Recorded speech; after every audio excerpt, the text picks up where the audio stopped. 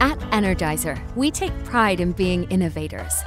From the first alkaline battery to the world's longest lasting AA battery, now we have another innovation first, pioneering sustainable product solutions. We're excited to share that recycled materials are included across our full Energizer branded household battery portfolio.